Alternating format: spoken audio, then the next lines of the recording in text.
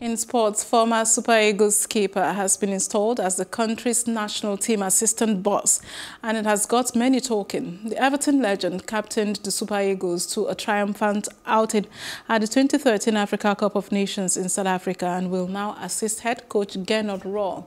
Ex-Chelsea star Celestine Babangida has echoed his discontent with the choice of his former international teammate as Super Eagles assistant coach. Fans also reacted on Joseph Yobo's appointment. I think he's fit because uh, he has been with the team, has played with the team, has captained the team, and I think he knows very much about the team. He knows the lapses of the team, and I think he can. He has something to offer. He was once a Nigerian player that he has played for a national team once, so he has much experience as a player. But as an assistant coach, working with Gernot Rohr, I think we will succeed. Yobo does not have the capacity of being a coach to lead the spy go. You know, we need a foreign coach so that they can respect him.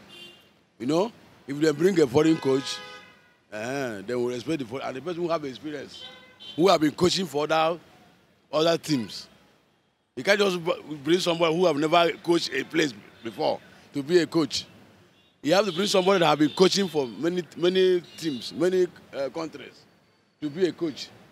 Yobo have never coached any place before. Uh, with his years of experience in uh, England, I think uh, he will succeed. He, he, had a good record when he was playing. In fact, even up till now, he still have a good record. And uh, I think uh, if they will give him the chance, someone just can't just jump from up to become a coach. You must start somewhere, so he will start from there. I believe he will be, he will be successful because Joseph is a Nigerian and he has played with the team before. And I believe he would like to achieve the real goals. And, and to me, it, it, it, will, it will succeed. I believe that he will succeed.